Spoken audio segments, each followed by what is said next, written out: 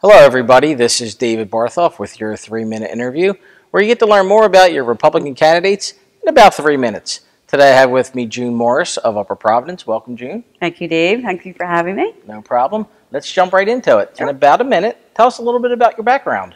Okay, so I moved to Delco about 22 years ago. At the time, my son was very young.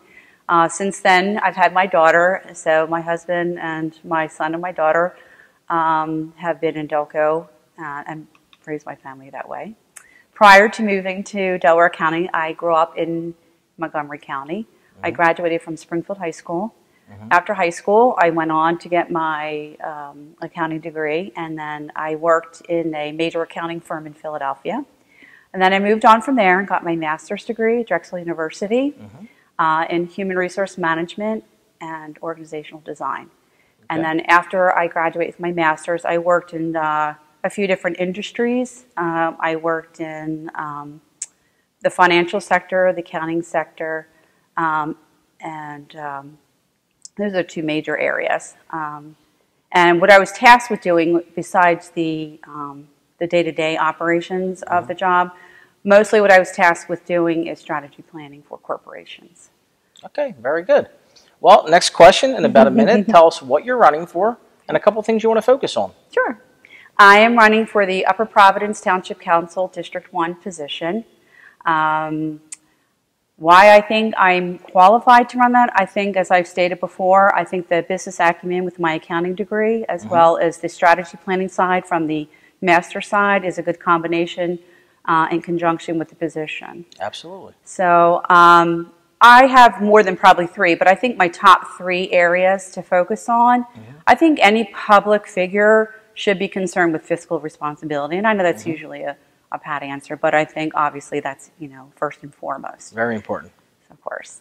And then secondly, um, I would say transparency because I think anyone that would elect me um, regardless of political affiliation, has a duty and responsibility to ensure that the community is engaged and involved, and in doing so, they're informed. So I think that's huge transparency.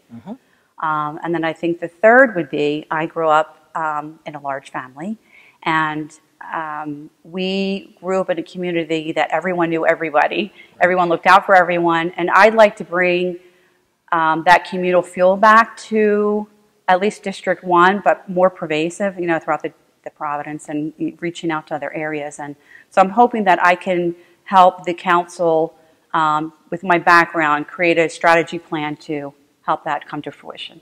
That's wonderful. Thank you. Great. All right, let's hop into our quick fire questions. Sure. Up the mountains or down the shore? Oh, geez. I've done both, so I'm going to say both.